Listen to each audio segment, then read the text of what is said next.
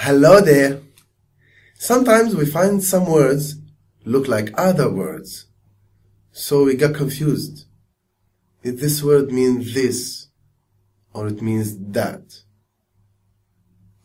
So today we will talk about some of these words. And our words today start with sw. So don't go anywhere and stay tuned.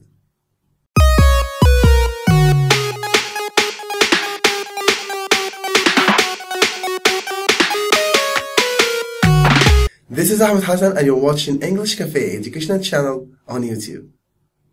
The first word we have for today is sweet.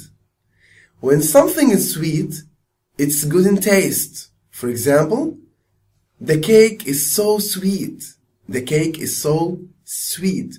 That means it's good in taste.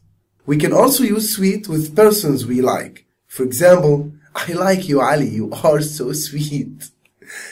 I like you, Ali. You are so sweet. We also have swear.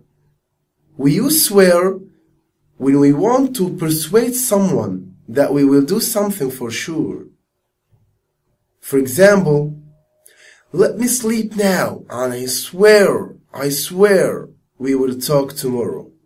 You are asking this person to let you sleep now and you are convincing him persuading him that you will talk to him tomorrow.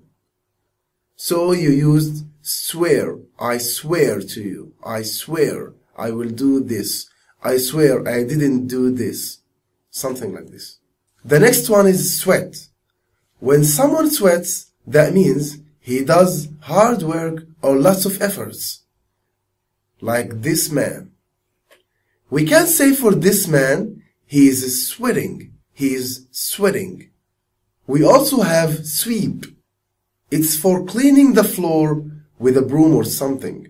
For example, when your mom asks you about what you're doing right now, and you say, I'm cleaning my room, she might say, don't forget to sweep the floor. Don't forget to sweep the floor. And don't forget to clean the floor with a broom. What about this one? Yes, of course, it's a swing. We can also use the word swing as a verb for describing the action of playing with the swing. For example, the boy loves to swing. The boy loves to swing. We use swim, of course, with playing in the sea or the pool. For example, I love swimming or I love to swim. The last word we have for today is swell. When something swells, it becomes bigger in size. And that's all for now. If you like the episode, make sure to subscribe to my channel to get the latest and the previous episodes. And don't forget to follow me on Facebook, Twitter, and Instagram. That was Ahmed Hassan from English Cafe. Bye bye.